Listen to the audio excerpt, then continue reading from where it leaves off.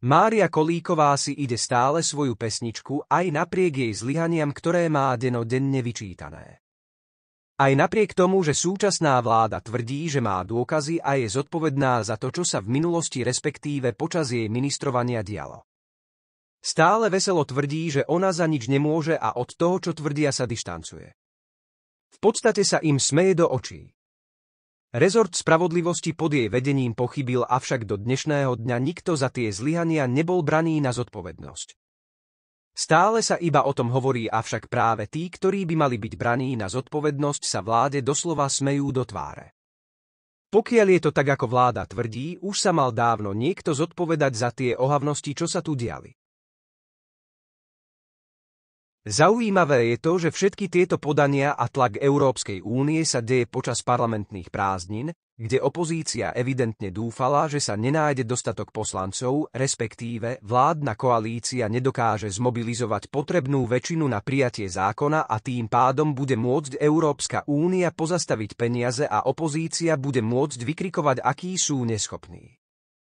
Nič z toho sa opozícii nepodarilo, z čoho sú evidentne rozladení.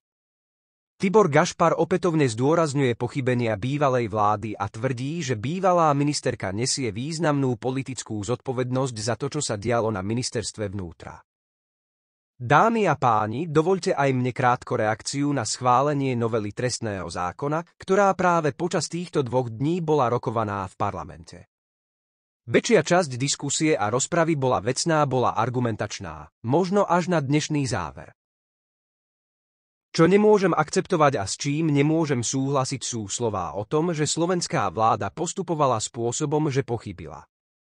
Že je to babráctvo a že opravujeme opravené a podobné vyjadrenia. Jednoducho táto schôdza bola práve preto, že slovenská opozícia robí v zahraničí konkrétne v Bruseli politiku proti Slovensku. Počúva informácie, ktoré sú skreslené, ktoré sú dezinformáciami a ktoré vytvárajú obraz u Európskej komisie o Slovensku. Ktorý nezodpovedá realite a na základe čoho Európska komisia neustále prichádza s nejakými požiadavkami. Ktoré buď už dávno máme riešené aj v našom trestnom práve, alebo ktoré sú nad rámec toho, čo sa požaduje od iných členských krajín Európskej únie. Ja som to nazval aj včera a dnes to zopakujem akési úvodzovkách vydieranie, pretože si myslím, že my sa snažíme dodržiavať európske právo. Bohužiaľ opozícia robí proaktívne politiku v Bruseli, ktorá je proti záujmom Slovenska a to najmä v tej ekonomickej oblasti. Krátko ešte reakcia na to, akým spôsobom sa vyvinul záver tejto rozpravy. No my hovoríme, že ak chcela Európska komisia byť aktívna, ak chcela konštatovať, že na Slovensku sa nedodržiava európske právo, tak sa pýtam, kde bola v rokoch 2020 až 2023.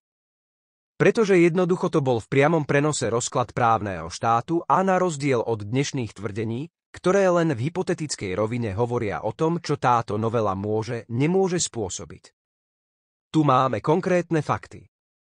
Máme tu mŕtvych ľudí vo väzniciach, máme tu poškodené ľudské práva, ktoré bude štát odškodňovať a vtedy bola Európska komisia ticho. Vtedy ste mnohé médiá tiež boli ticho, tiež ste neprispeli k tomu, aby sa vo verejnosti objavili objektívne fakty. Aby sa aj verejnosť začala vtedajšej vlády pýtať, čo sa to na Slovensku deje. A či to je v súlade s európskym právom, pretože aj niektoré rozhodnutia Európskeho súdu pre ľudské práva nám dali jednoducho za pravdu. Tiež súhlasím s tým, čo povedal minister spravodlivosti. Rozsiahla novela trestného zákona, ktorá tu bola na prelome rokov 2023 a začiatku roka 2024 bola ústavným súdom odobrená. Bolo to vysvedčenie o tom, že táto práca bola odborná, nebola žiadnym babráctvom a tieto kroky, ktoré sa tu diali za posledné dva dni, čiže tie úpravy sú len výsledkom toho, že chceme aj my prispieť do toho kompromisu vo vzťahu s Európskou komisiou. Kde zopakujem, podľa mňa nie je ona objektívne informovaná o celej našej právnej úprave. A z toho vyplýva ten neprimeraný tlak. Nehovoriac o tom, že často sa používa aj dvojaký meter a že zosobnením práve toho stavu rozkladu právneho štátu bola predovšetkým vtedajšia ministerka spravodlivosti pani Kolíková. Ona na to reagovala už včera po našej tlačovej besede tým, že sa jej to netýka a nenesie žiadnu politickú zodpovednosť. tak ja jej chcem opäť pripomenúť a zdôrazniť, že nesie významnú politickú zodpovednosť spoločne s celou bývalou vládou. Pretože najvyšší ústavní činitelia nielenže boli na osobitnej ústavnej schôdzke v Slovenskej informačnej službe, ale predpokladám, že boli informovaní aj v písomnej forme o tom, čo sa deje v oblasti právneho štátu. Konkrétne v manipulácii s trestnými konaniami a nikto z nich nereagoval. Bývalá ministerka sa stále bráni a tvrdí, že trestný zákon je zdrab papiera, ktorý porušuje všetky ľudské práva.